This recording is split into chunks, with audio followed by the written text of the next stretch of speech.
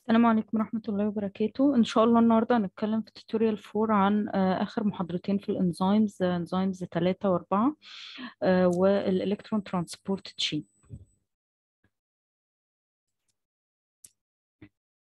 تمام ال contents بتاعتنا النهاردة هنراجع كده سريعا آه، important notes وبعدين على طول نحل ال MCQ إن شاء الله.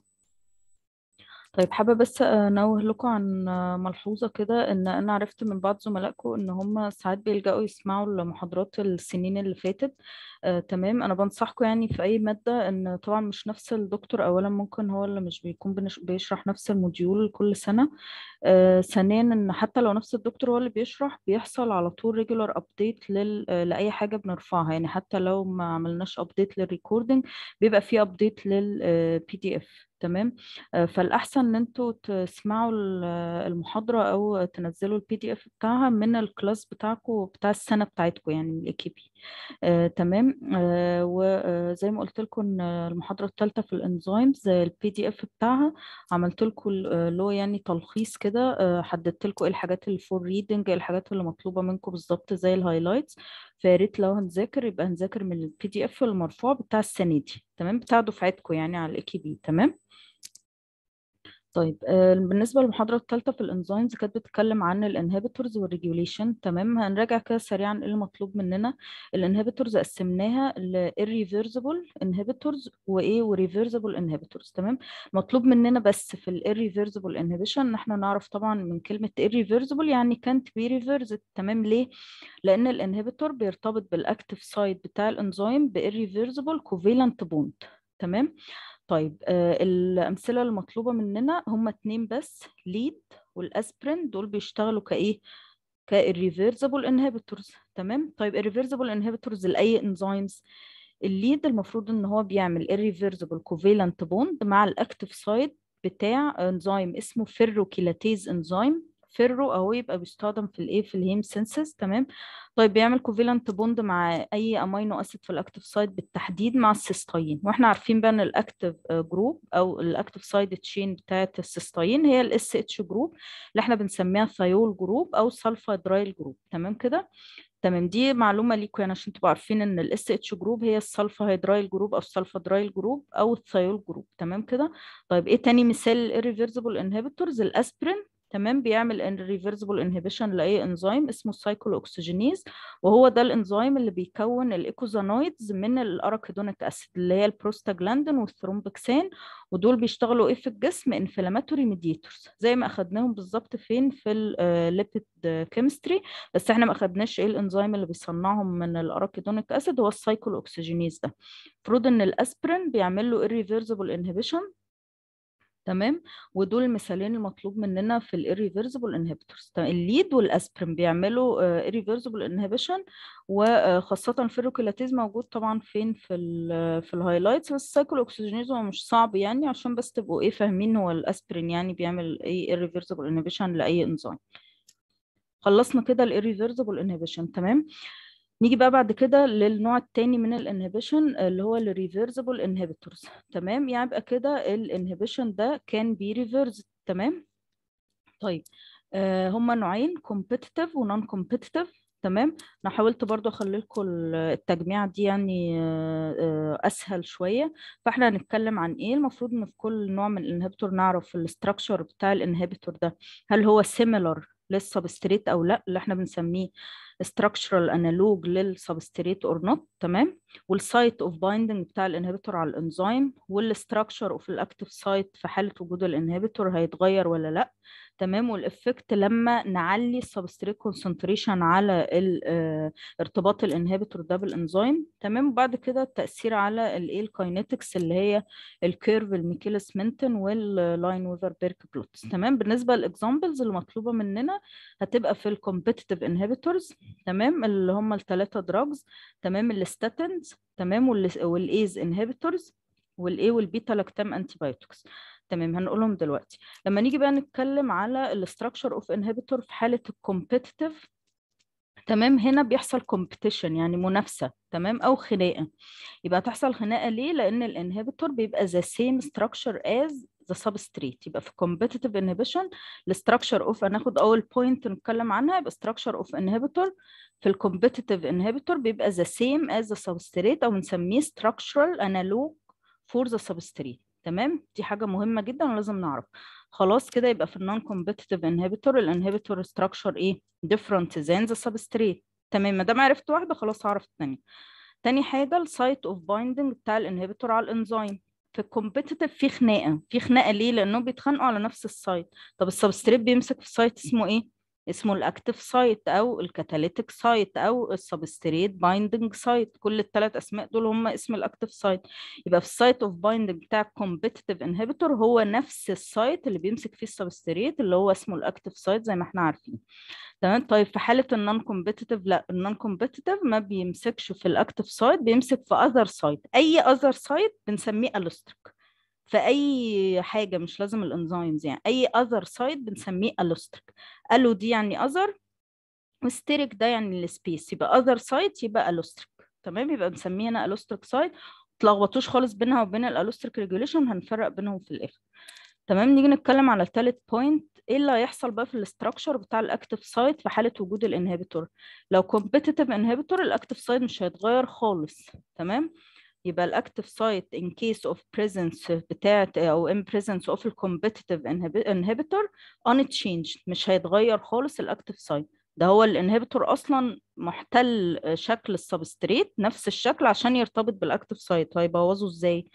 يبقى ال non-competitive inhibitor مع ان في ال non-competitive inhibitor ال inhibitor بيمسك في other site than the active site بس بيعمل conformational change في ال active site وده اللي إحنا برضو اتفقنا عليه في أي modulator هيمسك في ال allosteric site تمام؟ ما تلخبطوش برضو دلوقتي ما بين ال allosteric regulation وهنفرق بينهم في الآخر.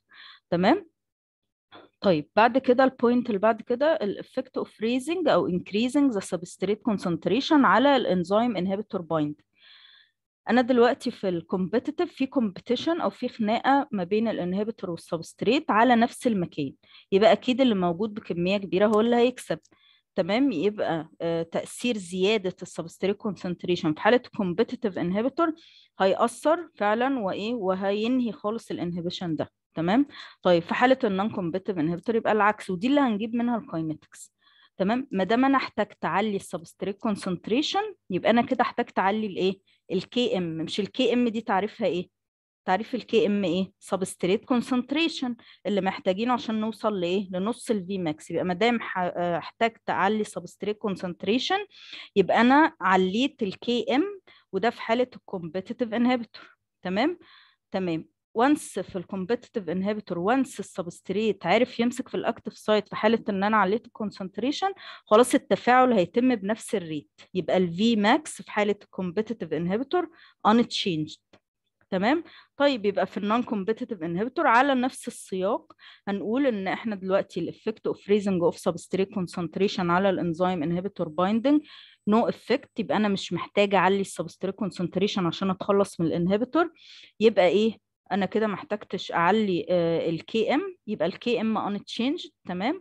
وطيب هل ال substrate بقى بيعرف يمسك في الانزيم في وجود ال inhibitor لا. ال non-competitive inhibitor بيمسك في allosteric site آه غير ال active site بس بيعمل conformational change في ال active site سواء ال non-competitive inhibitor binds لل free enzyme قبل ما يمسك في ال substrate أو حتى لو مسك في الانزيم بعد ما مسك في ال substrate وعمل enzyme substrate complex برضو ال non-competitive inhibitor هيغير أو هي... هيعمل conformational change في ال active site هتخلي ال active site ده ما يعرفش يبقى إيه؟ ما يعرفش يبقى fit مش إحنا قلنا في حاجة اسمها induced fit model. active site بيشكل نفسه على شكل ال substrate عشان يعمل enzyme substrate complex يشكل نفسه على شكل ال transition state عشان هيعمل الايه ال enzyme transition state complex هيشكل نفسه على شكل ال product عشان يعمل enzyme product complex تمام؟ طيب في حالة إن ال non-competitive inhibitor binds بال allosteric site other than the active site هيعمل conformational change في ال active site سواء الانزيم مسك في ال substrate أو أو لسه يعني تمام؟ يعني سواء ال competitive inhibitor ده ارتبط بالانزيم في حالة إن هو enzyme substrate complex أو free enzyme في الحالتين تغيير شكل ال active site ده مش هيكملوا التفاعل. يبقى كده ال Vmax بتاع التفاعل اتغيرت ولا لأ؟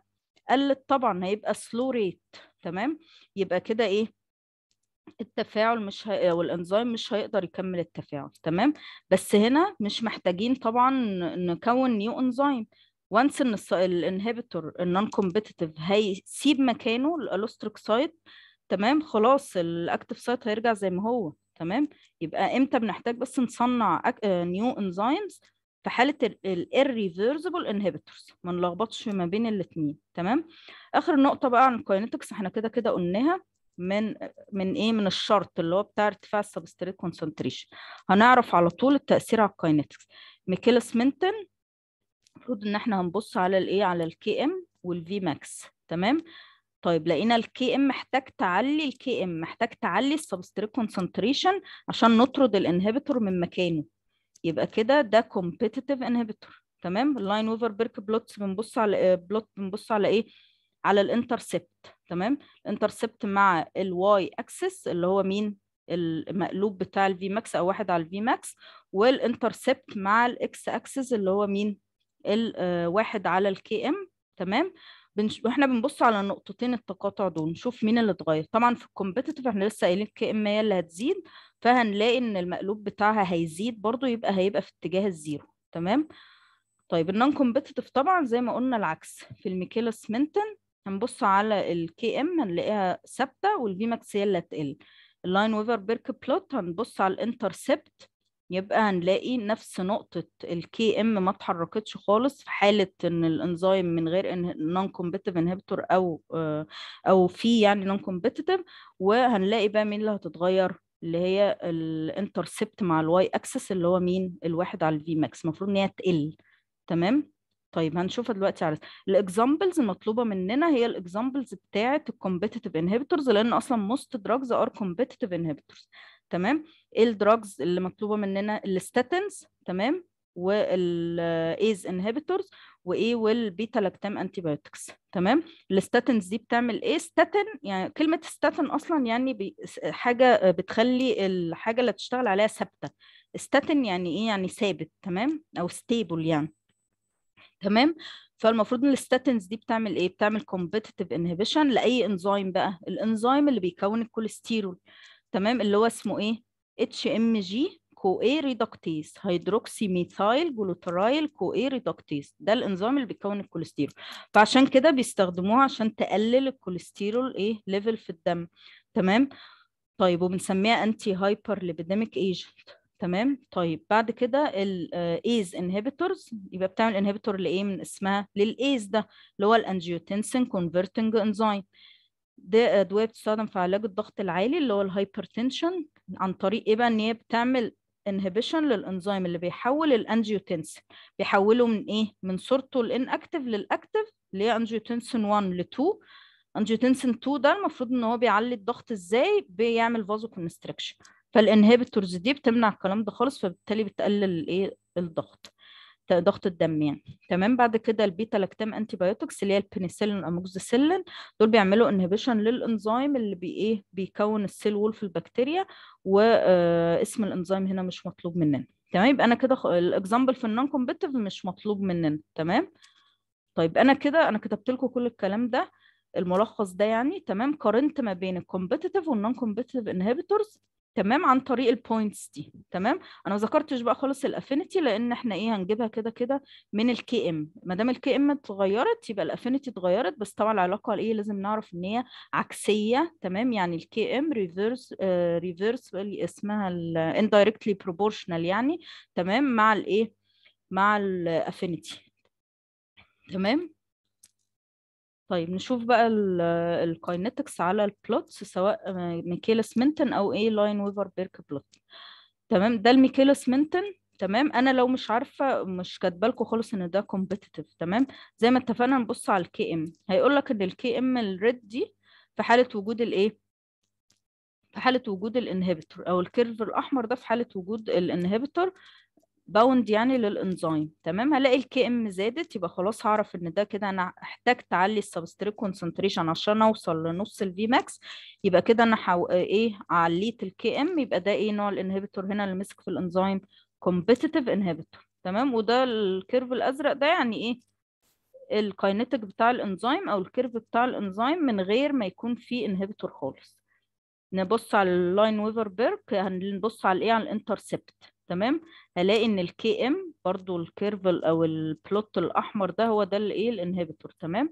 هنبص على ال Km أو مقلوب بقى ال Km هنا يعني هنلاقيها اتحركت في اتجاه ال zero يعني زادت تمام؟ وادي ده آه الأول أهو من غير وجود ال inhibitor تمام؟ طيب مين اللي ثابتة؟ أهو الواحد على ال Vmax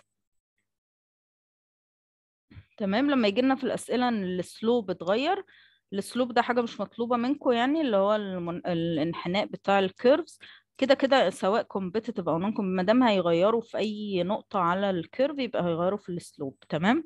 دي بس حاجة إيه عشان لو قريتوها على ال figures يعني. نفس الكلام اللي إحنا قلناه بالظبط. وال curves برضو في ال Michaelis Menten أبص على ال Km دي نقطة واحدة أهو سواء في ال curve الأخضر اللي هو في وجود ال inhibitor أو في ال curve الأزرق من عدم وجود ال inhibitor. تمام؟ طيب لقيت ال Km ثابتة يبقى ما احتجتش أزود ال substrate concentration عشان أوصل لنص ال Vmax تمام؟ يبقى ده كده non-competitive inhibitor طب أجي أبص ال Vmax ألاقي دي بتاعة الإنزيم من غير inhibitor أهي ودي بتاعة الإيه الإنزيم في حالة وجود inhibitor يبقى قلت. تمام؟ هنا طبعا رسم عادي تدريجي فقلت هلاقيها إيه يعني below the level للإيه للأعلى منها يعني. لكن هنا طبعا ده إيه قلنا reciprocal أو مقلوب. يبقى المفروض أدي برضو ده الأزرق ده في عدم وجود ال inhibitor والأخضر في وجود ال inhibitor هما الاثنين ما دام أنا Lineweaver-Burk plot أبص على ال intercept intercept مع الاكس اكسس هنا اللي هي الواحد على ال Km الاقيها ثابتة. تمام؟ طب أجي أبص على الواحد على ال Vmax المفروض إن ال non-competitive inhibitor بيقلل ال Vmax بتاعة الايه التفاعل ده تمام؟ اللي يعني الإنزيم بيعمل له catalysis تمام؟ بس المفروض بقى إن ال reciprocal بتاعها هيقل ولا هيزيد؟ هنلاقيه بيعلى بقى تمام؟ فهنا نقطة ال intercept هنلاقيها أعلى من بتاعة الايه عدم وجود inhibitor لأن أنا هنا إيه؟ reciprocal فالمفروض يعني إن المقلوب إيه؟ ما دام ال Vmax قلت يبقى لما ال Vmax تبقى denominator أو في المقام يبقى ال fraction كله كده معناها إن هو زاد.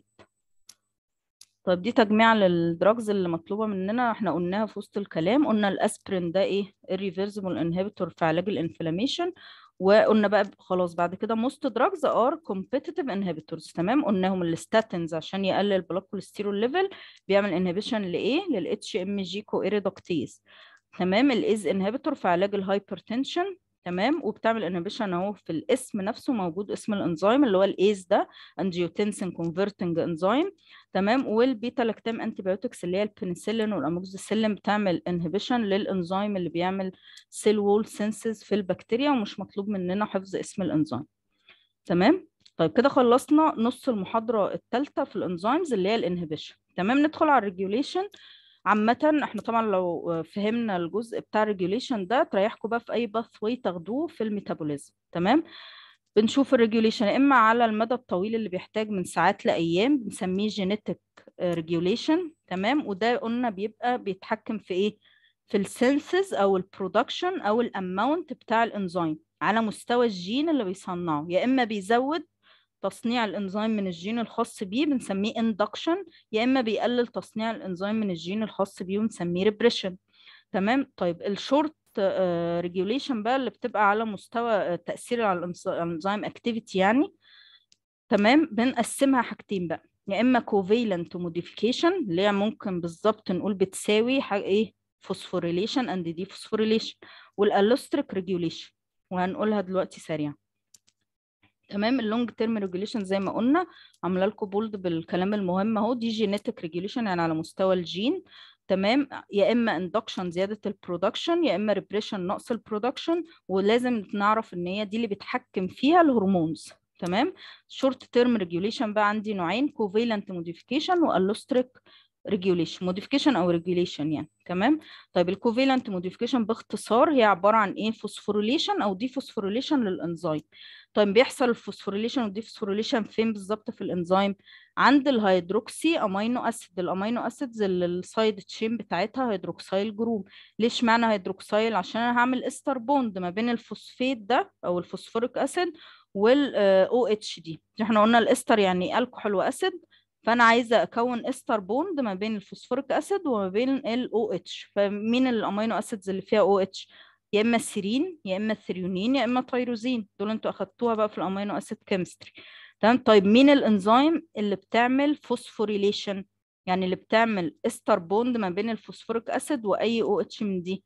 اسمها protein kinases وبسمي بدل البروتين ده بسميها بقى على اسم الإنزيم اللي هي شغالة بيه.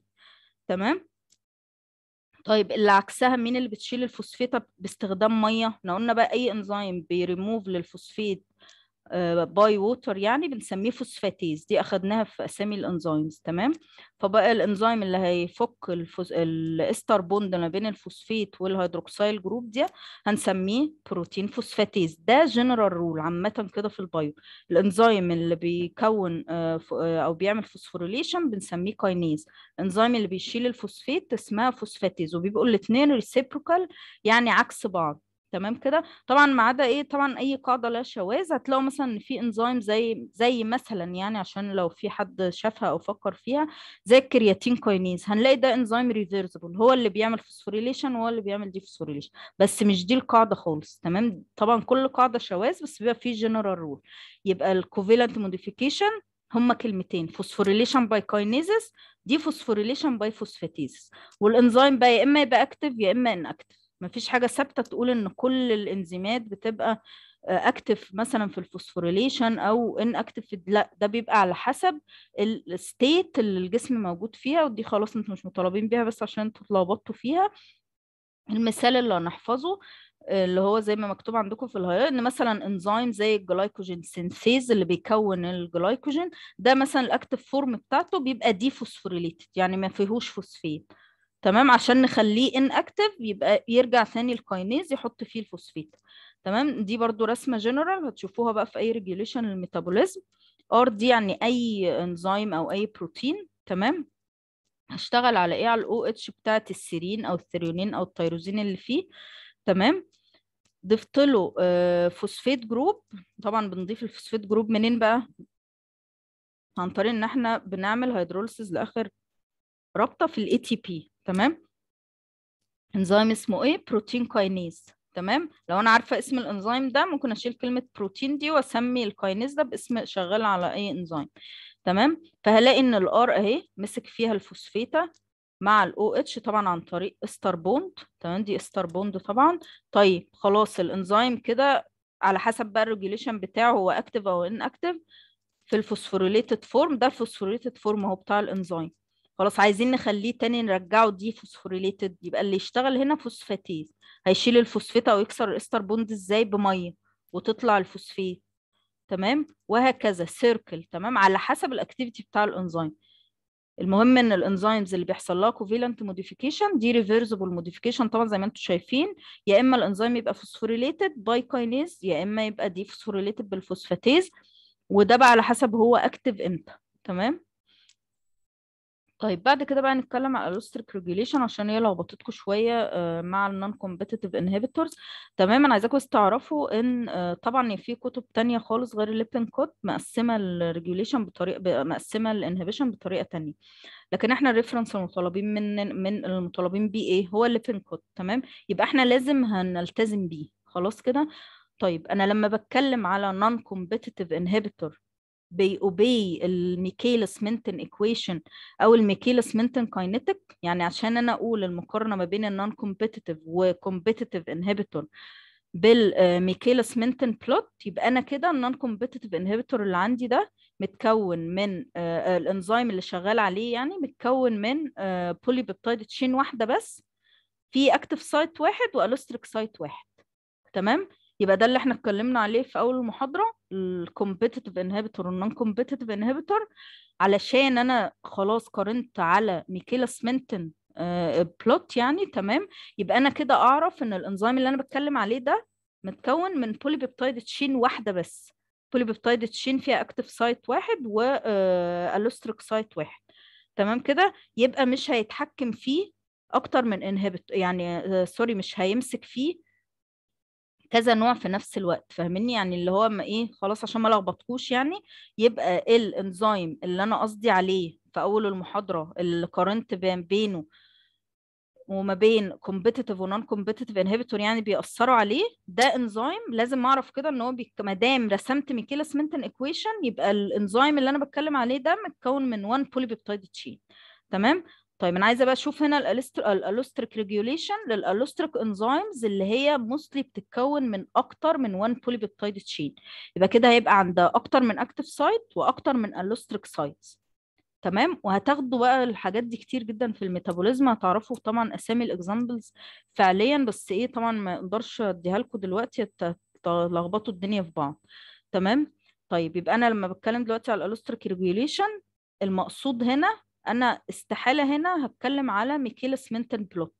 تمام؟ وهنعرف ليه. كلمة السر إيه؟ إن ال allosteric enzymes اللي أنا بتكلم عليها دي اللي متكونة من multiple polypeptide chains أو أكتر من polypeptide chain يبقى فيها أكتر من active site وأكتر من allosteric sites تمام؟ طيب هنتكلم الأول شوية كده عن ال modulators اللي بيمسكوا في ال allosteric sites المفروض إن ال allosteric sites دي بيمسك فيها modulator modulator أو regulator أو effector تمام؟ ال regulator ده يا إما يبقى activator يا إما يبقى inhibitor تمام؟ ويا إما يبقى homotropic أو heterotropic homotropic يعني إيه؟ homo يعني similar طب هو similar لإيه؟ هو هو بيبقى نفس ال substrate. هو هو ال substrate بيمسك في ال active site ويأثر على الانزيم أو يعمل الانزيم regulation عن طريق كمان إن هو هو هو ال modulator بتاع الانزيم ده إن هو بيمسك في ال allosteric site طيب كل ال homotropic modulator اكتشفوا إن هي إيه mostly إيه أو typically إيه most often بتبقى activator يبقى أنا دلوقتي بتكلم إن ال allosteric enzymes دي بتتكون من multiple polypeptide chain فيها أكتر من allosteric sites. ال allosteric sites دي بتمسك من اسمها allosteric enzymes يبقى فيها allosteric sites تمام؟ أنا فاصلة بقى دلوقتي خالص عن ال non-competitive inhibitor اللي كان بيأثر على انزيم من 1 polypeptide chain تمام؟ أنا بتكلم دلوقتي عن ال allosteric enzymes اللي فيها أكتر من 1 active site وأكتر من 1 allosteric sites تمام؟ allosteric sites دي بيمسك فيها حاجة اسمها allosteric modulator أو regulator أو effector ال effector ده يأثر على ال activity طبعا بتاع الإنزيم يا إما بال activation يا إما بال inhibition فبسميه activator أو inhibitor تمام؟ بيبقى من نوع من حيث ال structure بقى بتاع ال modulator لو هو هو ال substrate هو نفسه ال substrate مش مش شبه ال substrate هو هو ال substrate هو هو ال regulator اللي بيمسك في ال active site وفي ال allosteric site كمان يبقى ده هسميه homotropic modulator وده بيبقى activator تمام زي مين كده بالظبط نفس إيه نفس الأكسجين كده في تأثيره على الهيموجلوبين. مش إيه الهيموجلوبين؟ ده عبارة عن إيه؟ ده عبارة عن البروتين اللي موجود بيشتغل ك oxygen carrier في الدم عندنا تمام؟ طيب طبعا الهيموجلوبين مش انزيم إحنا جبناه مثال علشان حتة الهيموجلوبين والميوجلوبين دي اللي هو الميوجلوبين 1 polypeptide chain والهيموجلوبين أكتر من واحدة تمام؟ لكن الهيموجلوبين مش انزيم طيب الأكسجين كان هو ال substrate أو اللي بيمسك في الإيه في ال active sites بتاع الهيموجلوبين في الأربعة active sites تمام؟ وهو هو برضو الإيه كان allosteric activator تمام؟ يبقى أنا كده ال homotropic modulator زي تأثير الأكسجين على الهيموجلوبين تمام؟ طيب لو ال modulator بقى حاجة تانية خالص غير ال substrate different بسميه heterotropic hetero طبعا يعني different تمام؟ برضو زي تأثير إيه كده أخدناه؟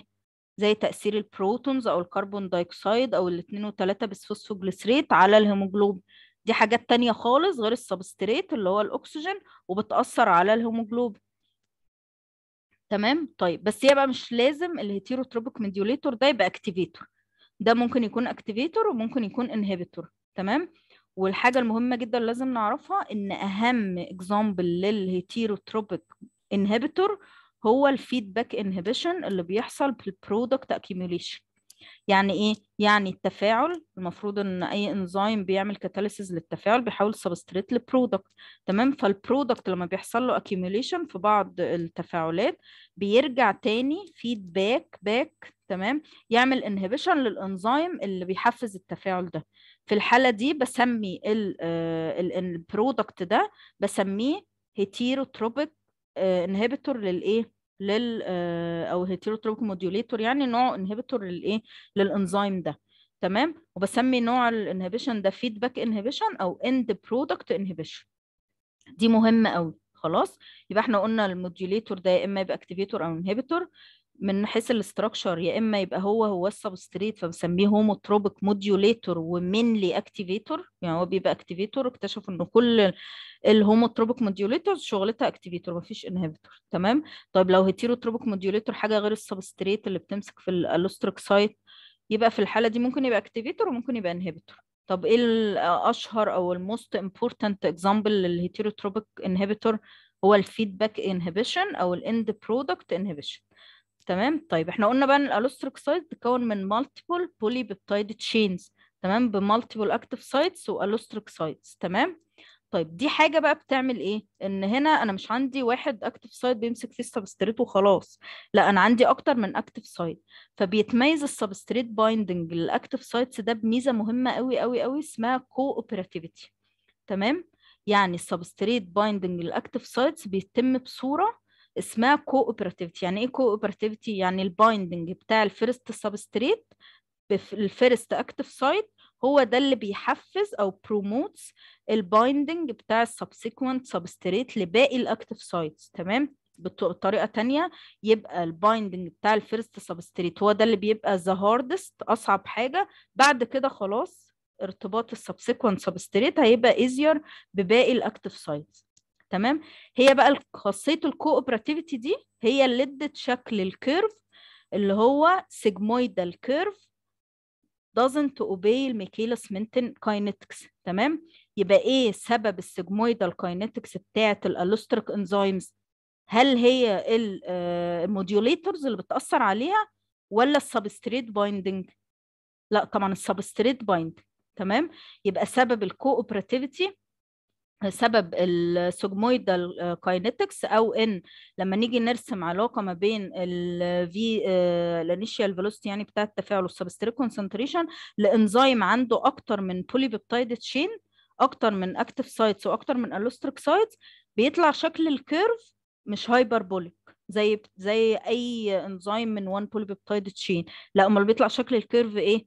بيطلع شكله sigmoid تمام؟ اللي هي characteristic S-shaped يعني S-shaped curve تمام؟ ودي الاسم لها معادلة تانية بس أنتوا اعرفوا خلاص ان هي not Michaelis-Menten تمام كده؟ طيب إيه سبب بقى شكل ال sigmoidal ده؟ حتة ال cooperativity دي. تمام؟ يبقى أنا دلوقتي ما نتلخبطش بقى ان سبب ال sigmoidal kinetic ده ال homotropic أو إن ال homotropic modulator زي سبب لأ ال cooperativity دي ملهاش علاقة خالص بال بال بال modulator تمام؟ هو بس عندكم في Lippincott ذكرها في حتة ال homotropic modulation على أساس يعني إن ال substrate binding بيبقى هو هو نفسه ال substrate في حالة لو أنا homotropic modulator لكن إيه سبب ال sigmoidal kinetic سبب ال sigmoidal kinetic إن ال substrate binding بأكتر من active site بيبقى في صورة cooperative تمام؟ أو cooperativity هي دي سبب ال sigmoidal kinetic تمام؟ سواء بقى الإنزيم ده بي regulated ب homotropic regulator أو heterotropic regulator هل أنتوا في الهيموجلوبين؟ طبعا عارفين إن ال oxygen distribution curve بتاع الهيموجلوبين S shape ده أو sigmoidal shape تمام؟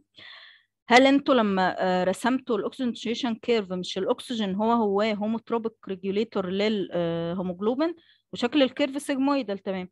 هل لما جيتوا شفتوا الرسم أو ال curve بتاع تأثير ال heterotropic regulators على الهيموجلوبين اللي هي البروتون وال CO 2 الاثنين وثلاثه bisphosphoglycerate لقيتوا شكل ال curve اتغير؟ ما بقاش sigmoidal لا يبقى أنا كده شكل ال sigmoidal curve ملوش علاقة بنوع ال modulator. آه طبعا هو طلع sigmoidal علشان الإنزيم ده متكون من أكتر من polypeptide chain فبالتالي في أكتر من active site وأكتر من allosteric site فأكتر من active site دي خلت إن ال substrate binding لل active sites دي يبقى cooperative تمام؟ وطبعا أكتر من allosteric site يبقى أنا كده مش مش هتبقى التأثير بتاع 1 بس allosteric modulator ده ده يبقى أكتر من allosteric modulator فال curve شكله هيتغير خالص عن ال hyperbolic فعشان كده بنقول إن ال allosteric enzymes اللي مكونه من أكتر من polypeptide chain هتبقى don't obey Michaelis-Menten equation حتة ال cooperativity دي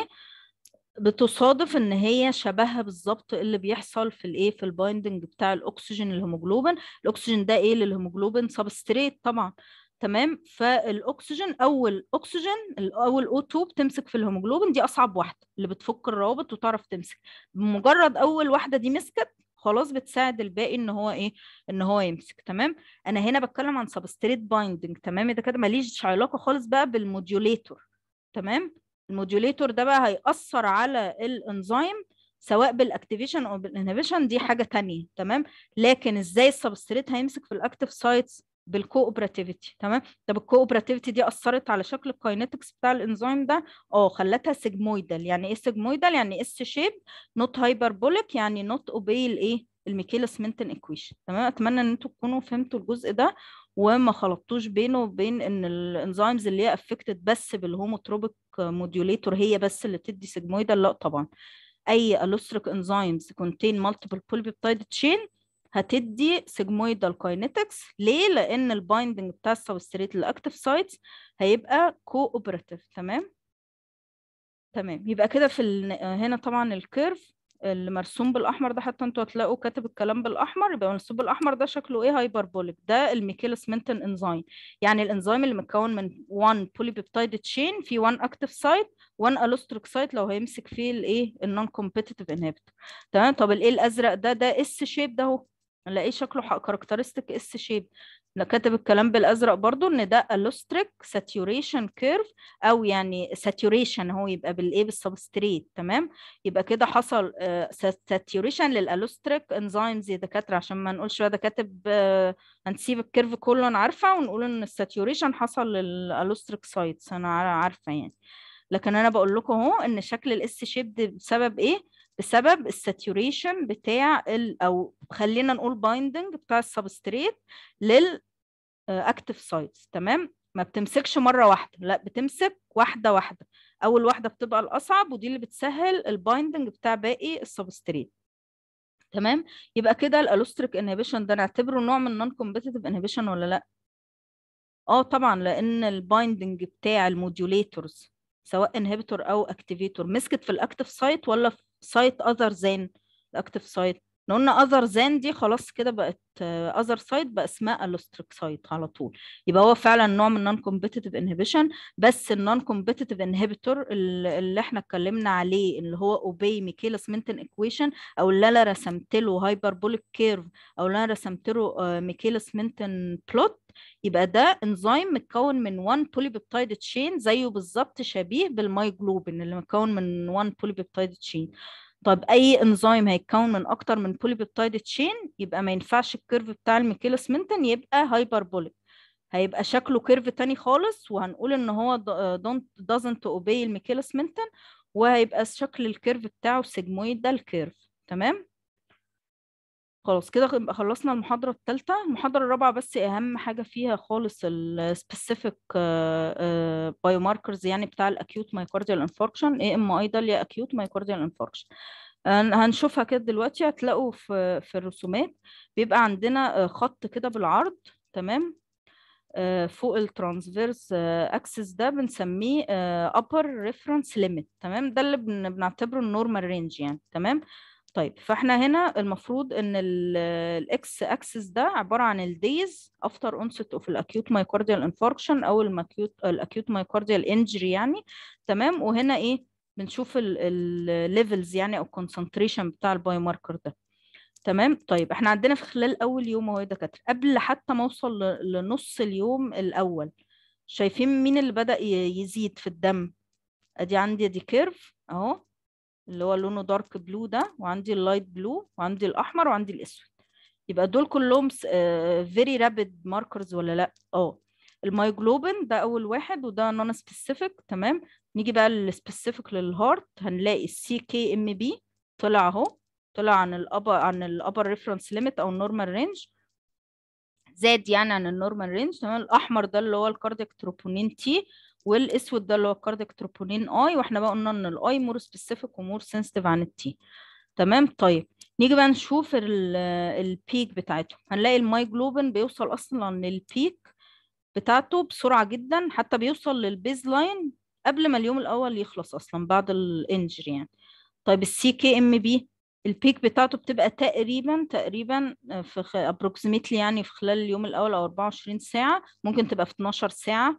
المهم إن هي سريعة وما تعديش اليوم الأول تمام؟ ويرجع بقى يرجع يرجع لل normal range في خلال التاني أو التالت يوم. تمام كده؟ يبقى بعد التالت يوم المفروض إيه؟ ما يبقاش فيه CK-MB عالي في ال blood تمام كده؟ طيب يبقى أنا ببص في ال curve على إيه؟ بدايته وال peak والنهاية. وهنعرف بيجي السؤال إزاي في الامتحان. مش هيجي لكم كل ال curveات دي مع بعض. جايبها لكم بس مجمعة عشان إيه؟ نفهمها مع بعض. تمام؟ طيب نيجي على ال cardiac troponins. المفروض إن ال peak بتاعتهم ممكن توصل يعني في ال blood أعلى level ليهم بعد اليوم الأول من الإصابة. ممكن بعد 28 ساعة بعد 36 ساعة. طب بترجع إمتى لل baseline لا ممكن بقى إيه؟ تخليها عالية. شايفين؟ ثلاث أيام بعد الإصابة أربعة خمسة ستة سبعة. ممكن لحد عاشر يوم كمان تخليها عالية في الدم وبعدين تبدأ تنزل لل normal line من عشرة آه اليوم العاشر اليوم الحداشر الاتناشر لحد خمستاشر يوم كمان ممكن بعد كده ترجع لل baseline. تمام؟ طيب ال lactate dehydrogenase برضو ده ال upper reference limit يبقى ده normal الخط اللي بالعرض الأسود ده ال normal level شايفين؟ بدأ يطلع المفروض طبعا في نهاية خالص بعد اليوم الأول خالص يبدأ يعلى في ال blood يوصل لل peak المفروض يعني ال typical يعني في ثالث أو رابع يوم. تمام؟ ويرجع تاني لل baseline بقى ممكن من خم... بعد خمس أيام ست أيام سبعة تمانية تسعة عشر. تمام؟ طيب هنفسر ده دلوقتي الأسئلة في الامتحان. تمام؟ تعالوا بقى نبدأ نحل الأسئلة. طيب أول حاجة competitive inhibitor of enzyme is usually طبعا الدكاترة بأكد عليكم إن نوع الامتحان بيجي إيه؟ تشوز single best answer. لقيت إجابة متأكد منها بنسبة 100% خلاص أختارها. طبعا أقرأ باقي الاختيارات يعني علشان أبقى عملت اللي عليا. بس لو اتلخبطت مع اختيار تاني لا أختار الإجابة اللي أنا متأكد منها. استحالة هيبقى في إجابتين صح أو إجابتين ينفعوا. Competitive inhibitor إحنا قلنا أول S بتبقى ال structure بتاع ال inhibitor شايفين لقطتها أهو structure similar لل substrate اللي إحنا بنسميه substrate analog يبقى هو دي الإجابة الصح. يبقى ال competitive inhibitor of an enzyme usually usually دايما يعني بيبقى structurally similar to the substrate. تمام؟ السؤال اللي بعد كده non competitive inhibitor. أنا شايفة إيه في الاختيارات كلام على ال Vmax وعلى ال Km وبتاع. يبقى أنا قبل ما أبتدي أختار لازم الأول أرتب دماغي. ده ال non competitive تمام؟ اللي هو not similar لل substrate تمام؟ فمش مفيش competition خلاص. إحنا قلنا ال S ال structure بتاع ال inhibitor بعد كده ال structure بتاع ال active site أو ال site of binding هيبقى other than ال active site بيغير في ال active site طيب ال substrate concentration هيأثر هنا ولا لأ؟ لأ. يبقى ال Km معلي في ال substrate concentration مش هيأثر. يبقى ال Km ثابتة. طب مين اللي بتقل أو بتتغير ال Vmax بتقل ولا بتزيد؟ بتقل. كل ده لازم أبقى أنا مرتباه في دماغي كده أو أكتبه حتى draft كده صغيرة جنب السؤال عشان ما لخبطش نفسي. تمام؟ طيب تعالوا كده نشوف أول اختيار. هنلاقي إن ال non competitive inhibitor ده binds ال Michaelis complex اللي هو يعني enzyme substrate complex آه إحنا قلنا ممكن إن ال non competitive inhibitor ي bind للإنزيم بعد ما يمسك في ال substrate أو هو لسه free enzyme ما مسكش في ال substrate. المهم إن هو يغير شكل ال active site وهيخلي الإنزيم مش عارف يكمل التفاعل. تمام؟ هل ال non-competitive inhibitor بيقلل ال Vmax آه طبعا. يبقى كده أول اختيارين صح. فهلاقي هنا إن الإجابة الصح إيه؟ إن the first and second choices are both correct. تمام؟ طبعا دي قلنا أسئلة علشان نثبت بيها المعلومة ونراجع مع بعض المحاضرات بس برضو في الامتحان ما بحطلكوش both are correct ولا all of the above ولا none of the above ولا except ولا الكلام ده. هتلاقي إجابة واضحة صريحة بتختارها. تمام؟ طيب بعد كده السؤال الثالث competitive inhibitor has the following effect على ال Lineweaver-Burk plot هو كاتب line مش مهم إحنا عارفين بقى إن اسمها line عشان بس الناس اللي بتسيب السؤال كله وتركز في حاجات كده إيه معينة. تمام طبعا بنحترمهم وكل حاجة بس إيه في ناس ثانية بتتلخبط.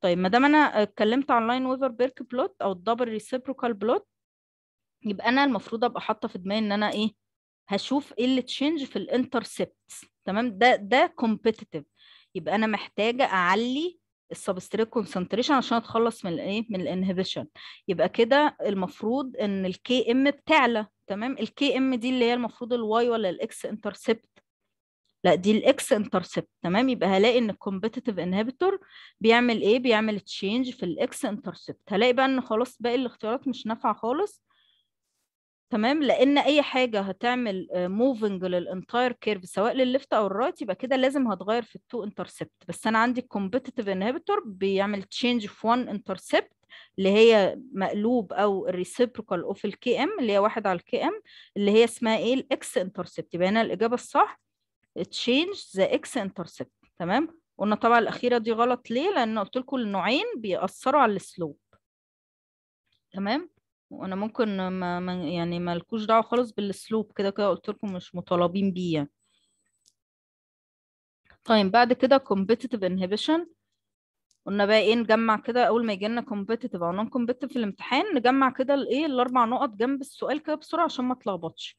تمام؟ الأربعة S وال kinetics تمام؟ إيه الأربعة S أول حاجة ال structure of inhibitor ال competitive يبقى similar لل substrate تاني حاجة ال site of binding آه ده competitive ده competitive يبقى بيتخانق يبقى على ال active site طيب ال structure of active site في حالة وجود ال inhibitor لا هنا مش هيتأخ... مش هيتغير لأنه ال inhibitor عايز يمسك فيه. تمام؟ طيب ال effect of raising substrate concentration لا هنا هيعمل overcome لل inhibition تمام ال kinetics ما أنا جايباها أصلا من ال من ال effect of raising substrate concentration يبقى أنا كده اضطريت أعلي ال KM يبقى الثانية بقى اللي هي ال Vmax خلاص unchanged يبقى دي كلها نقط اكتبها كده جنب إيه آه سواء جالي competitive أو non competitive عشان ما اتلخبطش وأنا بختار. تمام يبقى competitive inhibitor ألاقي هنا إن هو إيه close structural similarity مع ال substrate. تمام يبقى الإجابة هنا مع ال substrate دي يعني. تمام. What happens to KM لسه قايلين بقى في حاله وجود non competitive inhibitor هل هحتاج اعلي ال substrate concentration عشان اخلص من ال inhibitor لا يبقى ال KM هلاقيها not be affected تمام يبقى ال KM مش هتتغير تمام يبقى الإجابة الصح هتبقى KM will not be affected in presence of non-competitive inhibitor طيب بعد كده degree of inhibition by competitive inhibitor is obtained from ال competitive inhibitor ده هقيس ال degree of inhibition إزاي؟ هو بيغير إيه وبيبقى فيه إيه unchanged بال competitive inhibitor competitive inhibitor ده بيغير في ال KM لأني محتاجة أعلي الايه ال substrate concentration عشان أتغلب على ال inhibitor تمام؟ لكن unchanged دي بتبقى ال Vmax تمام؟ يبقى أنا عشان أقيس ال degree of inhibition أكيد measurement of إيه؟ of KM اللي هي بتتغير تمام؟ طيب بعد كده طبعا تقروا بقى الاختيارات هتلاقوها يعني مش هتتعارض خالص مع الإجابة اللي إحنا بنختارها. بس عشان يعني قصدي ما أطولش عليكم يعني. an allosteric inhibitor of an enzyme إحنا قلنا بقى allosteric inhibitor ده الدكاترة لما يجي لنا allosteric يبقى إحنا هنا قاصدين ال allosteric enzymes اللي بتتكون من أكتر من 1 polypeptide chain تمام؟ هنلاقي إن هي بتتأثر ب modulators activator أو inhibitor تمام؟ إحنا قلنا ان انواعها في ال structure يا homotropic هي هي ال substrate وده بيبقى activator على طول. يا إما heterotropic وده يبقى activator أو inhibitor وقلنا ملحوظة مهمة قوي على ال allosteric inhibitor إن هو إيه؟ an important example له ال end product inhibition أو ال feedback inhibition. تمام؟ اللي هي هلاقيها دي الاختيار رقم اتنين participates in feedback regulation.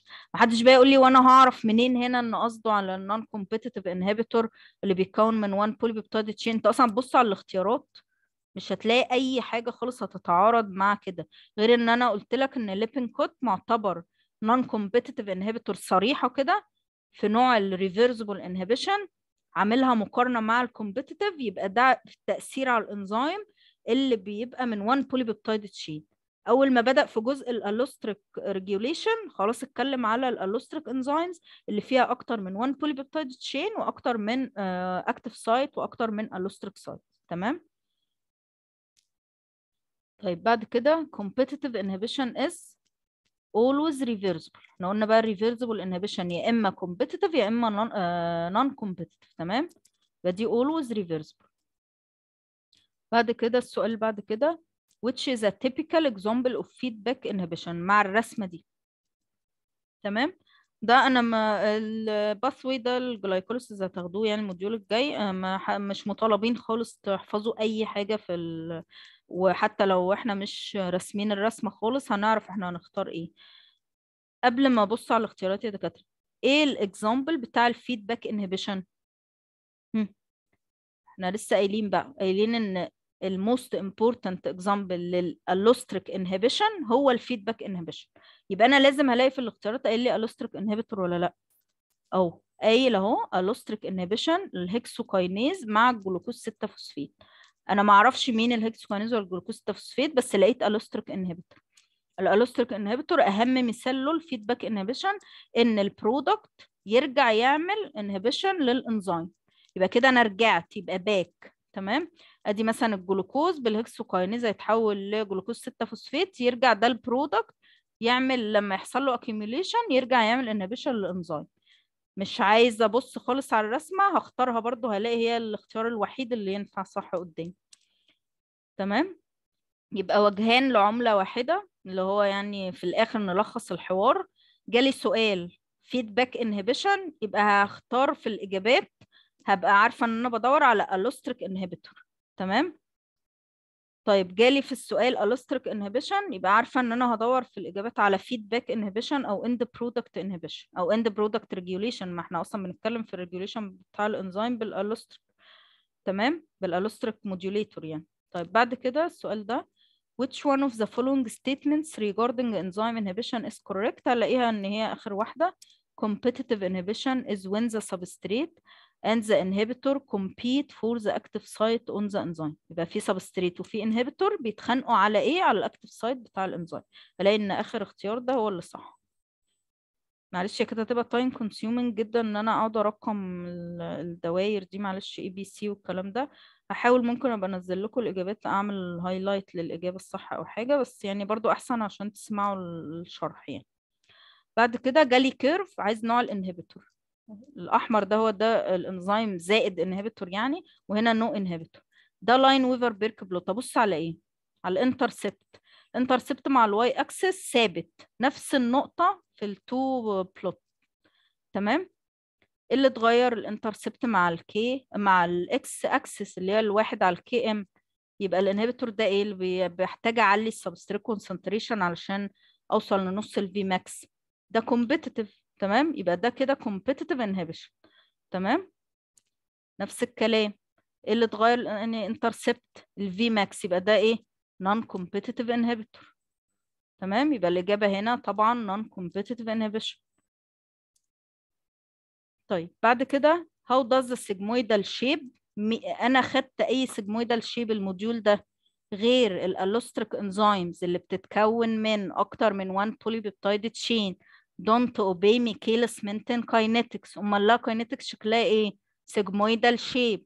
خدت أي حاجة غير ده؟ لا. طيب إيه سبب ال sigmoidal shape هل سببه ال modulator ولا ال substrate binding لا ال substrate binding تمام؟ آه في ناس هتقرأ إن سببه التأثر بأكتر من modulator تمام بس السبب الرئيسي ال substrate binding بأكتر من active site بيبقى شكله إيه؟ cooperative تمام؟ اللي هي بتعمل لي property اسمها إيه؟ cooperativity cooperativity دي بتوصف ارتباط إيه؟ ارتباط ال substrate بال active sites بتاعة الانزيم تمام؟ آه ماشي. ده اسم ال equation اللي هي بقى غير Michaelis Menten مش مطالبين بيها خالص بس أنا قصدي عشان في ناس هتسأل هو إيه يا دكتورة؟ هل دي أنا هعرف منين؟ هل أنتوا خدتوا sigmoidal shape غير حوار ال allosteric enzymes ده؟ لا خلاص. طيب هو بقى عايز هنا يشوف how does sigmoidal shape describe the cooperative binding of a substrate تمام هنلاقي ان احسن اجابة هي دي the first to bind the first substrate يعني to bind is the hardest while those after are easier هي دي typical definition of cooperativity cooperativity في اي حاجة تمام بس أنا طبعا هنا بوصف substrate binding بالانزيم يبقى هي دي زمايلكم في ال physical tutorial اعترضوا شوية وقالوا لي لأ دي تنفع. أنا مش عارفه دي تنفع إزاي. هو بيقول the first molecule يا سيدي ال substrate to bind is difficult. تمام. بيقول لك بس هيبقى أسهل. تمام. عشان بس هو هم قعدوا يعترضوا كتير. تمام. ال substrate binding ال first substrate bind هيبقى difficult بس هيبقى أسهل لحد ما الانزيم يبقى saturated هل الكلام ده إحنا قلناه؟ يعني هو إحنا ما قلناش خالص إن ال first binding هيحصل له تسهيل بعد كده. هو ال first binding ده أصعب واحد ومسك خلاص في ال active site في ال first active site الباقي بقى اللي هيمسكوا في ال remaining of active sites هم بعد كده اللي هيبقوا أسهل. خلاص أول واحد مسك وخلاص مسك ايا كان مسك إزاي هو ده اللي عمل promotes لل other substrates اللي هي تمسك في ال other active site تمام يا دكاترة؟ وبعدين إحنا زي ما اتفقنا choose the the single best answer يبقى يا ريت بس إيه ما نقعدش نتشتت مع اختيارات تانية وتبقى الإجابة الصح واضحة وصريحة قدامنا. بعد كده خلاص بقى إحنا يعني أكيد أكيد حفظنا بقى non competitive inhibitor. مش محتاجة أعلي ال Km يبقى ال Km ثابتة وال Vmax اللي هتقل. تمام؟ الكلام ده مش هلاقيه موجود في A ولا B ولا C. هلاقي إن أنا حتى لو مش فاهمة الاختيار رقم أربعة أو D ده هو الوحيد اللي ينفع أختاره. أكيد مش هروح أختار اختيار تاني بالعافية عشان مش فاهمة ده. يبقى أنا الاختيار الوحيد اللي ينفع أختاره هو ال concentration of active enzyme is reduced حتى لو مش فاهماه ما أطلع من الامتحان إن شاء الله بقى أفهمه. تمام؟ طيب هنفهمه مع بعض. بيقول إن ال non-competitive enzyme activity بتعمل إيه؟ بيحصل. آه إن ال concentration بتاع ال active enzyme بيقل. آه طبعا active enzyme ده يعني انزيم مسك في ال substrate وعمل catalysis للتفاعل. تمام؟ طبعا في وجود ال non-competitive inhibitor اللي بيغير شكل ال active site هيبقى كده مفيش active enzymes عارفة تعمل catalysis للتفاعل كتير. فيما معناه يعني إن ال concentration بتاع ال active enzyme قل. طب ما ده فعلا صح. بعد كده السؤال بعد كده in reversible non-competitive enzyme activity inhibition. في non-competitive إحنا لسه قايلين بقى ال Km المفروض إن هي ما بت... ما بتتغيرش. ال Vmax بتقل تمام؟ لا الاقيه ماشي مع الكلام ده؟ أهو إن الاختيار رقم B أو letter B يعني inhibitor lowers the maximum velocity within a given ما أي كلام المهم إن أنا إيه متأكدة إن الاختيار ده الصح. تمام؟ هلاقي الاختيارات التانية ما تنفعش أصلا. عشان بس الناس اللي بتسيب الإجابة الواضحة الصريحة ايا كان فيها إيه ويروحوا بقى إيه يمسكوا في كلمة مثلا في اختيار. أنا مش هختار اختيار أو أو حاجة من الإجابات عشان كلمة صح وبقية الاختيار غلط. تمام. uh, in competitive enzyme activity inhibition. Competitive structure of inhibitor resembles that of the substrate. خلاص بقى إحنا حفظناها. تمام؟ ده إيه؟ competitive. تمام؟ inhibitor decrease ال Km لا طبعا ده محتاجة أزود ال Km تمام؟ وطبعا ال Vmax هي اللي ما بتتغيرش. فهلاقي إن الاختيار رقم A ده هو اللي إيه؟ هو اللي ينفع.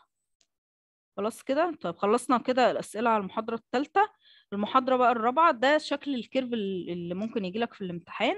تمام؟ طبعا أنت مش هتكتب حاجة بس هو أقول لك which of the following uh, specific cardiac biomarkers uh, دي بتاعة ال myocardial infarction فهتلاقي في الاختيارات بقى CK-MB و LDH 1 و cardiac troponins وأي حاجة. المهم إن أنت هتبص بقى على ال curve نبص على أول ال curve وعلى ال peak وعلى الإيه؟ وعلى الرجوع لل baseline أول ال curve اهو detectable level من 4 ل 6 ساعات. أنا عايزة specific يبقى ماليش دعوة بال myoglobin دلوقتي.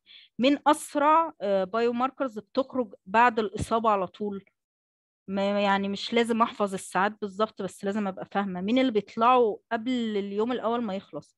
بمجرد أربع أو ست ساعات من حدوث ال myocardial infarction مين؟ ما هم يا CK-MB أو ال CK 2 يا إما ال cardiac troponins ما فيش غيرهم هما الاثنين تمام. طب ماشي. آه آه ممكن أبص على ال peak زيادة تاكيد على فكرة لو بصيت على آخر ال curve على طول هعرف. ال peak بنوصل من 12 ل 24 ساعة. ماشي نسيتها. هو المفروض طبعا ده typical ال CK-MB طيب نسيت. أبص على آخر ال curve. مين اللي بيرجع لل normal level من 2 ل 3 أيام بعد الإصابة أو بعد ال injury؟ مفيش غيره. سي كي ام بي أو سي كي 2 تمام؟ نكتب الاثنين طبعا بس إيه؟ أنتوا طبعا مش هيجيلكوا في الامتحان تكتبوا حاجة يعني أنتوا هتختاروا يبقى كده الإجابة هنا سي كي ام بي أو سي كي 2 تمام؟ اللي هو creatine kinase آه isoenzyme اللي موجود في الايه في ال heart muscle. تشوف ال curve ده البداية دي ساعات تمام؟ بدأ يطلع عن ال baseline أهو بعد اليوم الأول وصل لل peak بعد 2 ل 3 أيام. بدأ يرجع لل baseline أهو. يعني رجع خالص بعد 10 أيام. تمام؟ ده مين؟ هم. الأول أشوف. ده بدأ يعلى بعد اليوم الأول. يبقى ده أكيد مش من الحاجات اللي هي بتعلى بسرعة يعني مش لا CK 2 ولا cardiac troponins يبقى أنا خلاص أنا عرفت من أول ال curve أصلا إن هو LDH 1 زيادة تأكيد أبص على ال peak peak level بعد 48 ل 72 ساعة يعني يومين لثلاث أيام. هل ال peak بتاع ال CK-MB أو ال cardiac troponins بتأخر قوي كده؟ لا طبعا زيادة تأكيد أبص على آخر ال curve رجع لل baseline إمتى؟ رجع لل بادئ أهو يرجع ال baseline تمام؟ بعد يعني من اليوم ماشي من اليوم الخامس أهو بادئ بادئ بادئ يرجع. وصل خالص لل normal level في يعني آه ممكن مثلا من 8 ل 10 يوم. تمام؟ مين اللي بيتأخر على ما يوصل كده؟ ما هو يا إما ال cardiac troponins يا إما LDH 1 تمام؟ بس ال cardiac troponins ما بتتأخرش على ما تعلى في الدم بعد ال injury ولا بتتأخر على ما توصل لل peak يبقى أنا كده LDH 1 يبقى هنا ده ال curve بتاع LDH 1 طيب. مين ال curve الأحمر؟ هما الاتنين طالعين في خلال اليوم الأول يعني تقريبا بعد 12 ساعة اهو من الإصابة من ال infarction يعني. تمام؟ يبقى أنا عندي احتمالين بس هو ال cardiac troponins أو ال CK-MB طيب نبتدي نشوف بال peak مش هعرف أفرق قوي.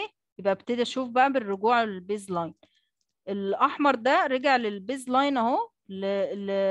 لأول level زي ما كان طبيعي بالظبط قبل ما اليوم التاني يخلص. تمام؟ يبقى ده سريع يعني في الرجوع لل normal level يبقى ده مين؟ CK-MB طيب مين اللي اتأخر على ما رجع لل baseline؟ اهو لسه حتى يعني بعد اليوم العاشر وما رجعناش كمان. يبقى ده cardiac troponins تمام؟ طبعا زي ما قلنا مش هنكتب في الامتحان بس طبعا لو كنا هنكتب كنا هنقول إيه؟ cardiac troponins وطبعا more specific اللي هو مين؟ ال cardiac troponin آه يعني. كده تمام خلصنا إيه؟ محاضرات ال محاضرات ال enzymes اللي هي 3 و4 تمام. نيجي بقى بعد كده على المحاضرة الأخيرة خالص في ال module اللي هي المحاضرة رقم 9 ال biological oxidation أو ال electron transport chain. أدي ال electron transport chain باختصار. المفروض إن من اسمها زي ما قلنا chain يعني chain of complexes فين؟ في ال inner mitochondrial membrane. إيه وظيفتها؟ إن يحصل فيها ال electron transport اللي طالع من ال oxidation بتاع ال food سواء كربوهيدرات سواء lipid سواء proteins تمام؟ ليه؟ في صورة chain علشان طبعا إيه؟ يحصل تقليل من ال energy اللي هي yields من ال electron transfer أو ال electron transport لأن هي بتبقى كمية طاقة عالية جدا لو اتنقلت بسرعة قوي للاكسجين علشان يحصل بقى تكوين لل ATP عن طريق ال electrochemical gradient لو اتنقلت بسرعة directly للاكسجين كده هيحصل على طول إيه؟ انفجار للخلية. يبقى ده السر إن هي تبقى chain تمام؟ طيب نيجي بقى بعد كده على ال components. في كل component كده نتكلم عن ال names يعني بتاع ال complex وهنتكلم على ال components بتاعته ونتكلم على الإيه؟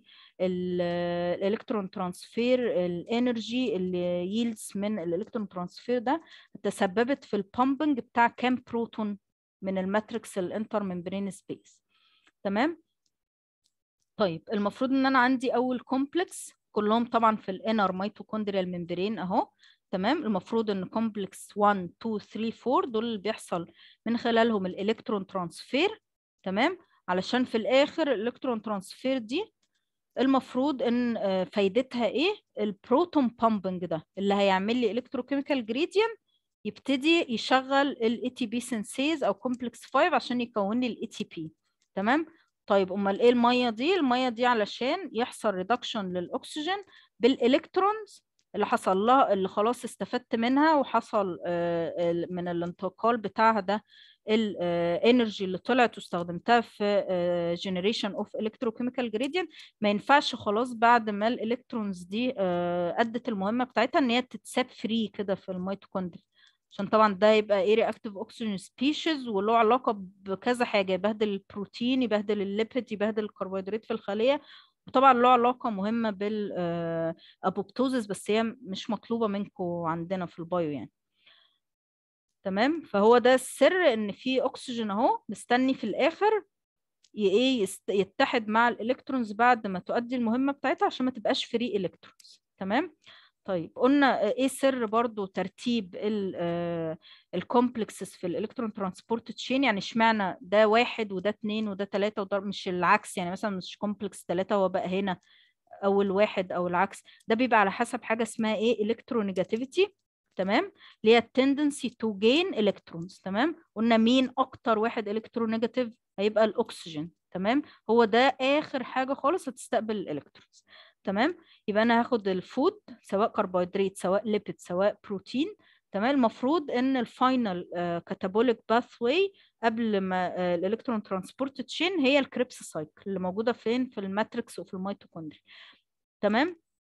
هيطلع من ال reactions بتاع ال Krebs cycle دي يا إما NADH plus H تمام؟ آه ولازم أقول NADH plus H تمام؟ استحالة دكاترة تقولوا NADH 2 دي حاجة كده تعرف إن أنت مش فاهم أي حاجة تمام؟ يبقى ال reactions of ال oxidation of ال food سواء كربوهيدرات lipid بروتين هيطلع منها NADH plus H أو FADH 2 هو التفاعل الوحيد اللي بيطلع منه FADH 2 في ال Krebs cycle هو بتاع ال succinate dehydrogenase ده.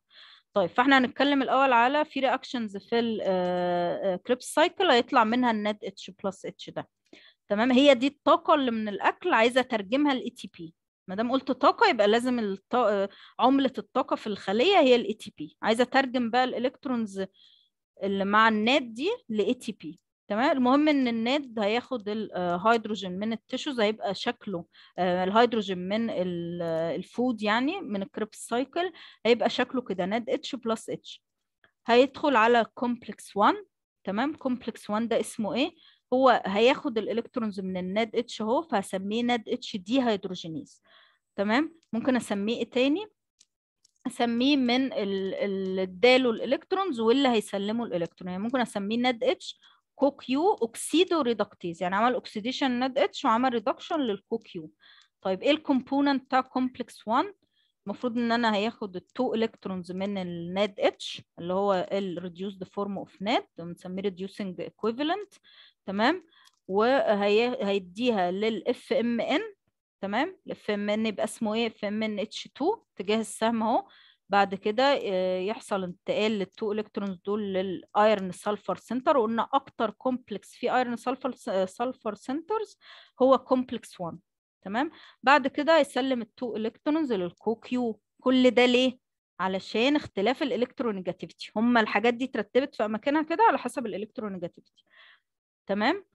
طيب بعد كده ال CoQ ده المفروض إن أنا لسه في تفاعل في ال electron transport التفاعل في ال Krebs cycle تمام؟ اللي إحنا اتفقنا بقى دي آخر مسار لل oxidation بتاع أي أكل أنا باكله.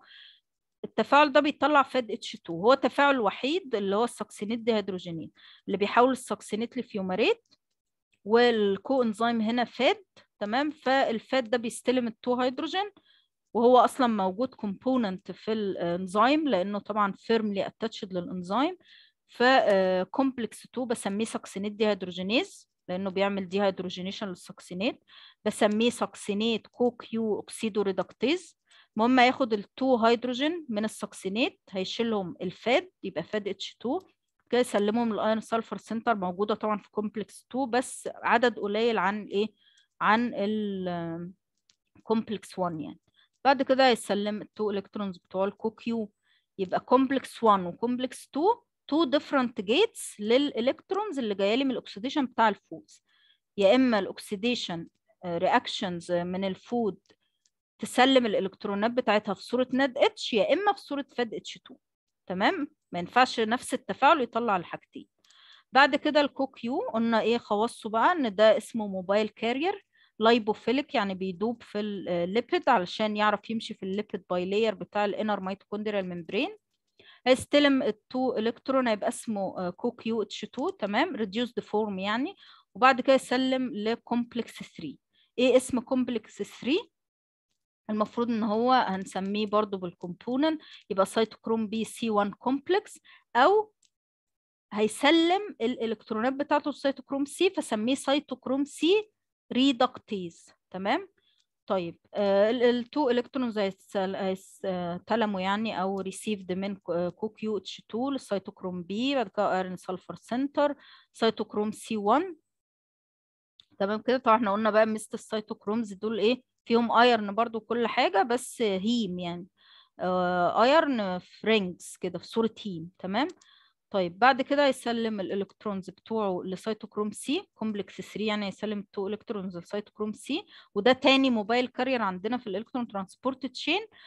هو مش lipophilic زي ال CoQ فهلاقيه loosely attached لل outer face أو الوجه يعني الخارجي لل inner mitochondrial membrane فإحنا بنعتبره موجود في ال intermembrane space يعني.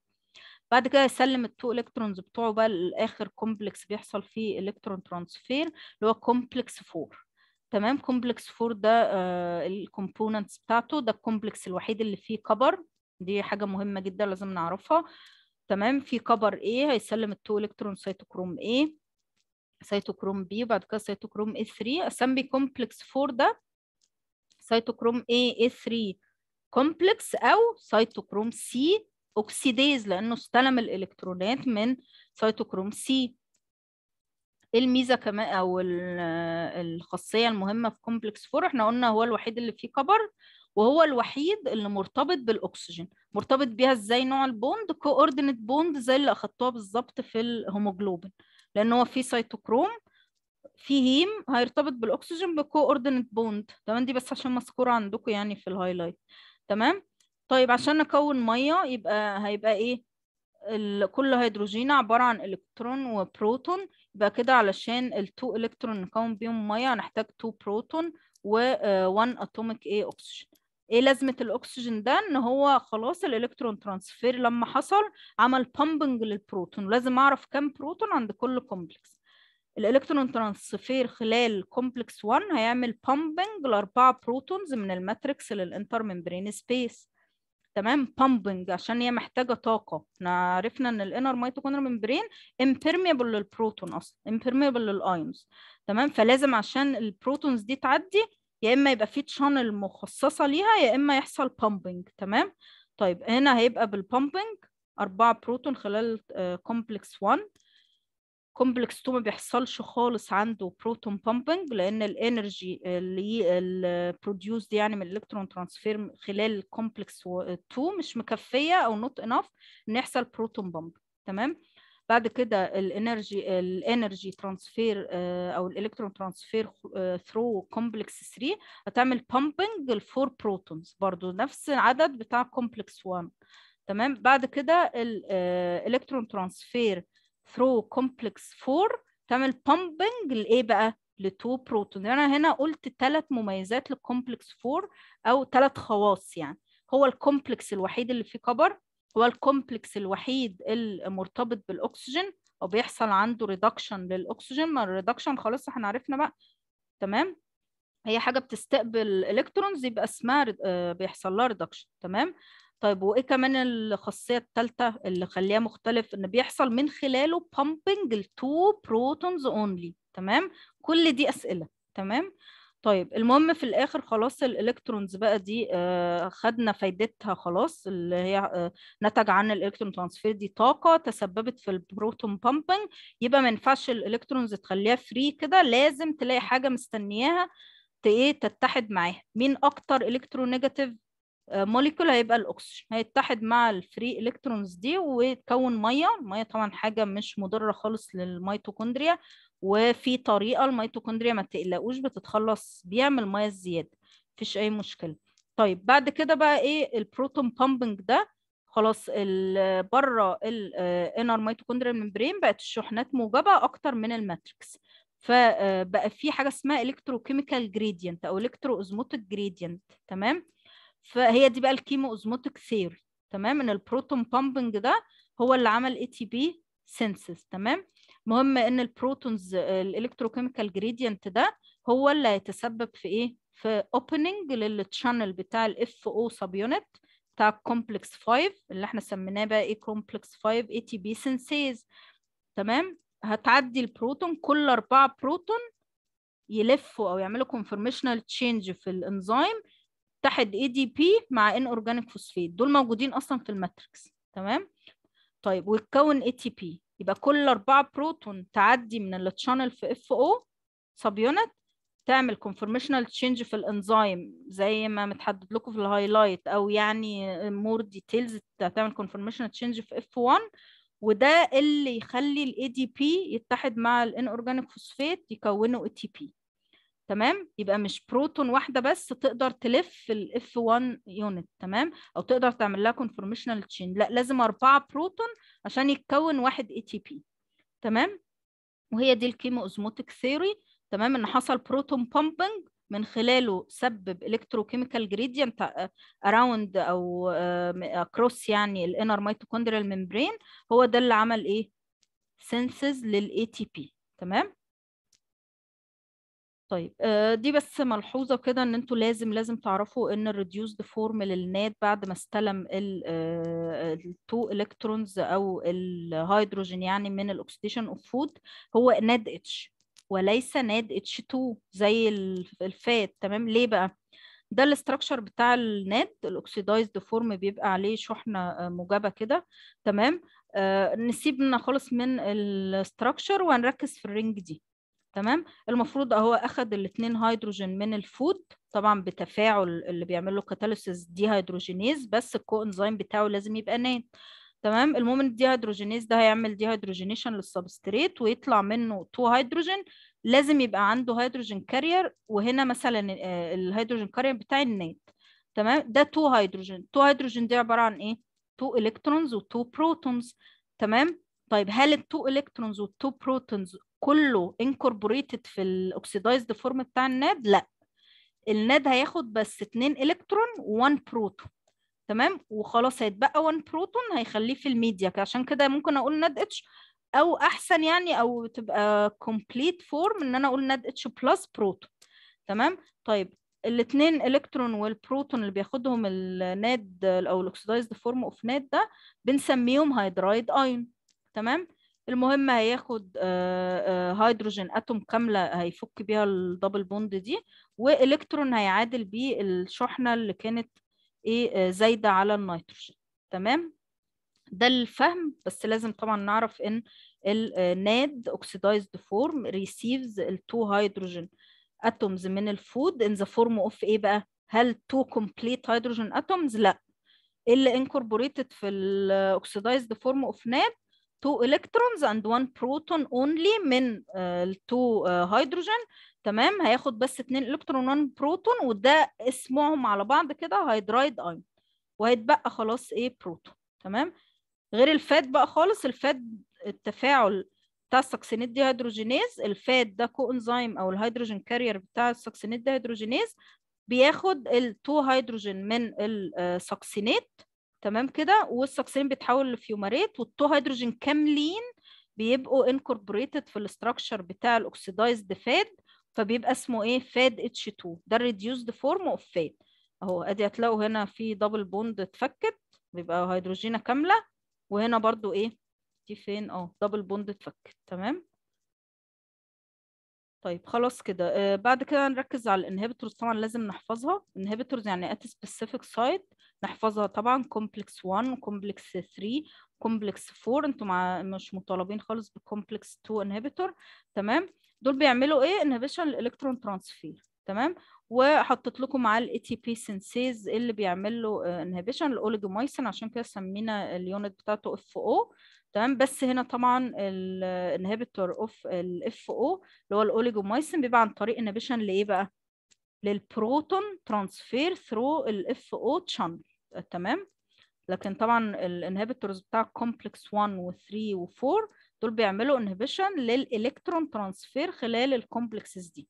تمام؟ خدنا برضو حاجة اسمها uncouplers يعني بتعمل uncoupling لل oxidation عن ال phosphorylation هتخلي ال oxidation يحصل وكل حاجة بس الإلكترون ترانسفير مش هينتج عنه electrochemical gradient يعمل phosphorylation تمام؟ يبقى دلوقتي الطاقه اللي هتطلع هتخرج في صورة heat تمام كده؟ طيب أنواعها إيه؟ uncoupling proteins. وحفظنا آه رقم واحد بس فيهم اللي هو ال thermogenin وده بيبقى موجود كتير قوي في ال newborn والحيوانات اللي بتعيش في الأماكن القطبية يعني عشان طبعا هو اسمه thermo أهو يعني heat وال genin genesis يعني production يعني يبقى كده بيعمل production of heat تمام عن طريق ال mechanism اللي هو إيه شغال uncoupling ال oxidation على ال phosphorylation. مفيش electrochemical gradient ال uncoupler ال uncouplers دي كلها بتعمل إيه؟ pores في ال inner mitochondrial membranes تخليه permeable لل protons تمام؟ وفي طبعا نوع تاني من ال uncouplers هي drugs بقى أو synthetic زي 2 و4 dinitrophenol phenol. قلنا ده إيه؟ دواء كان بيستخدم في ال obesity في في علاج ال obesity يعني لأنه بيعمل حرق للأكل بس من غير طاقة تمام؟ والأسبرين تمام؟ دول مثالين لل synthetic uncouplers طيب نحل مع بعض كده شوية أسئلة. electron transport chain occurs in مكانها فين؟ inner mitochondrial membrane طيب بعد كده cyanide inhibits electron transport chain أي poison cyanide carbon monoxide hydrogen sulfide azide كل دي تعمل inhibition عند complex 4 تمام يبقى أي poisons هتعمل inhibition عند complex 4 تمام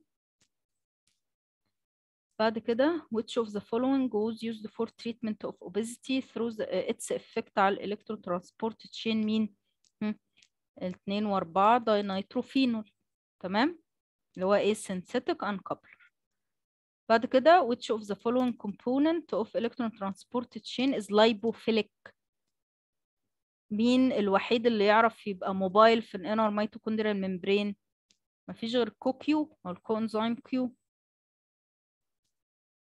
بعد كده at which of the following components of ETC no proton pumping occurs مين ال complex الوحيد اللي ما يحصلش عنده proton pumping complex 2 طبعا تمام قلنا ال energy produced من ال electron transfer through complex 2 not enough for proton pumping تمام السؤال بعد كده at which of the following components of electron transport chain pumping of only two protons occur مين ال complex المميز المميز بثلاث حاجات مختلفة الوحيد اللي فيه copper الوحيد اللي coordinated مع الأكسجين أو مرتبط بالأكسجين ب bond يعني والوحيد اللي بيحصل عنده pumping للبروتون بس عدد قليل اتنين protons بس هو complex 4 تمام؟ complex 4 بعد كده إيه ال end product بتاع ال electron transport chain طبعا ATP تمام؟ نتيجة ال electrochemical gradient وال electrons بقى اللي هي عمالة تتنقل دي بيحصل لها إيه؟ بتست... بيتم استقبالها بالأكسجين ويتكون مية. يبقى ال end product مية واي تي بي اي تي بي لأن هو ده هدف ال electron transport chain الحصول على الطاقة. ومية علشان أعمل إيه؟ أمتص الضرر من ال free electrons ما تبقاش free electrons يعني.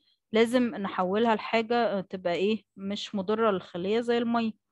تمام. ولازم اللي يستقبلها طبعا يبقى حاجة ال electronegativity بتاعتها عالية اللي هي الأكسجين بعد كده ال mobile parts of electron transport chain مين. قبل ما أبص على الاختيارات لازم أبقى عارفة إن هما اتنين.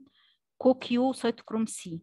تمام؟ مين ال lipophilic CoQ عشان كده هو embedded في ال inner mitochondrial membrane طيب آخر سؤالين بقى. Many compounds poison the respiratory chain by inhibiting various steps of oxidation or phosphorylation. Which of the following steps in, is inhibited by carbon monoxide and cyanide? مين قلنا ال complex اللي بيحصل له inhibition بال poisons؟ complex 4 ندور كده على ال complex 4 هيمشي معاه أي جملة من دي أو أي اختيار يعني هلاقيها دي ال oxidation step تمام involving direct reduction للأكسجين مش إحنا قلنا complex 4 ده اللي بيحصل عنده reduction of oxygen الأكسجين عنده بيستقبل ال electrons يبقى هنا الاختيار B هو ده الايه ال best answer تمام الإجابة B بعد كده uh, a laboratory analysis of isolated mitochondria demonstrates that إيه بقى demonstrates إيه oxygen consumption is normal when succinate is added يبقى كده بيقول لك إن الدنيا تمام يعني لما ال succinate is added يبقى ال succinate dehydrogenase تمام اللي هو complex 2 طيب but extremely low الأكسجين consumption يعني low when pyruvate and malate اللي هم إيه يعني معرفهمش. هتلاقيه كاتب لك أهو substrates for NAD dehydrogenase يبقى ده ال substrates بتوع مين؟ بتوع complex 1 تمام؟ تمام. لما آه، جم عملوا analysis ال mitochondria لقوا إن في مشكلة عند ال substrates بتاع ال NAD dehydrogenase ده. يبقى كده في مشكلة في complex 1 ولا لأ؟ أنا بس بفهمكم إزاي نترجم الايه أي كلام يعني. ال case سواء كان case سواء كان سؤال زي ده أي كلام قدامنا المفروض إحنا نترجمه علشان نعرف نختار الإجابة. The mitochondria are subsequently shown to have normal cytochromes. من ال complexes اللي عبارة عن cytochromes اللي فيهم cytochromes تلاتة وأربعة. يبقى كده normal complexes تلاتة وأربعة. But reduce the iron content. في مشكلة في ال iron تمام؟ The reduced pyruvate malate oxidation عن طريق compl... اللي هي بقى تدي إلكتروناتها يعني ال complex 1 due to defect in which of the following respiratory components. هو كده قال لك إن complex 1 عنده مشكلة؟ complex 2 تمام complex 3 و4 تمام. يبقى أكيد complex 1 هو قال normal cytochromes ما ينفعش أختار cytochrome C تمام؟ cytochrome oxidase اللي هو complex 4 هو قايل إن normal cytochromes تمام؟ آه NADH CoQ oxidoreductase ده اسم cyto ده اسم إيه complex؟ ده اسم complex 1 ما أنا قلت complex 1 يا إما اسمه NADH dehydrogenase يا إما إيه؟ يا إما آه NADH coenzyme oxid آه coenzyme Q يعني oxidoreductase تمام؟ يبقى طبعا هتبقى المشكلة في ال complex 1 تمام؟ اللي هو إيه؟ cyt آه اللي هو الاختيار رقم C يعني تمام؟ طبعا ال succinate dehydrogenase وقايل لك أهو إن normal normal function ال mitochondria لما ال succinate is added آه، تمام؟ آه، أتمنى إن شاء الله إن ال tutorial يكون فادكم يعني. طبعا لو احتجتوا أي حاجة نتواصل مع بعض بإذن الله. شكرا جزيلا.